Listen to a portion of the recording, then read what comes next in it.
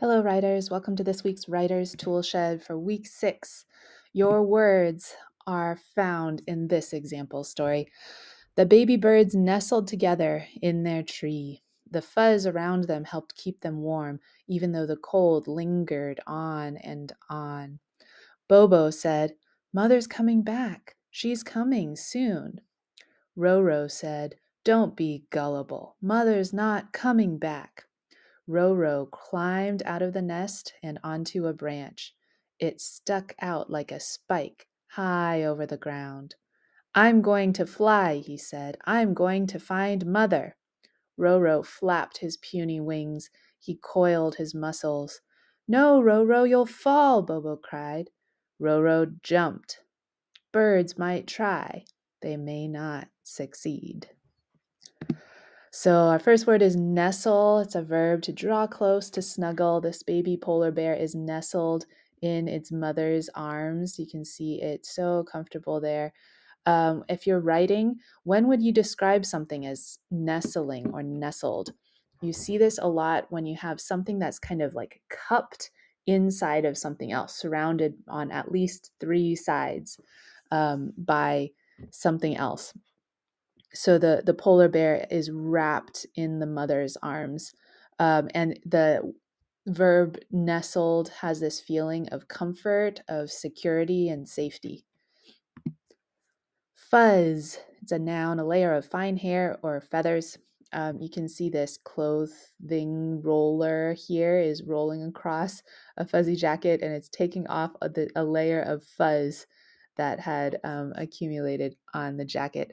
If you're writing with it, you have these two similar words. There's fuzz, there's fur, fuzzy or furry. Uh, what's the difference? Fuzz is generally more um, uncertain what the thing is actually made of.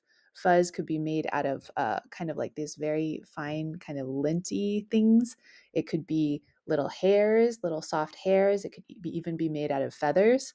Um, but fur is very specifically the hair of an animal. So you wouldn't say, oh, my shirt has this fur, layer of fur coming on it, but you would say a layer of fuzz coming off the shirt.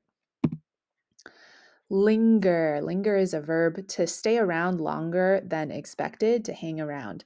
So if you imagine people saying goodbye, if they don't really want to go or if they um, just feel like uh, hanging around longer, they would kind of say goodbye and then take a step and then take a step back, goodbye again, or they might find something else to talk about and they're lingering.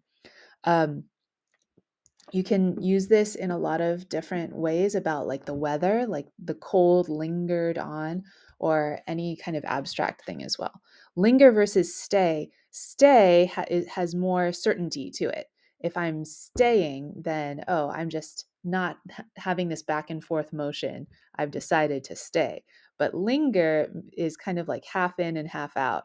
I'm staying, but I'm also kind of going. Gullible, easily tricked, will believe anything. You can see here there's a gullibility test, $1.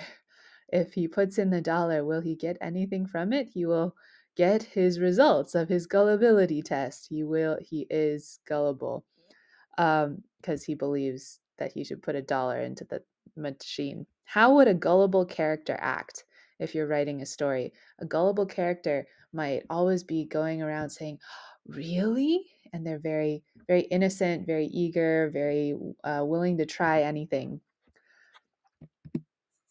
Last one is spike, a thin pointed piece of metal or wood or other material. You can see these spikes sticking up here, very sharp, very pointed, very long.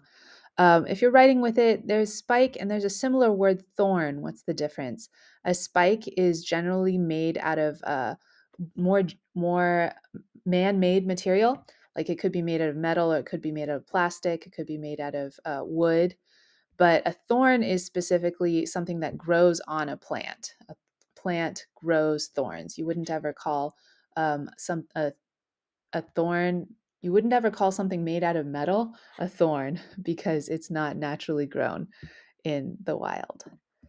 Okay, that's all for this week.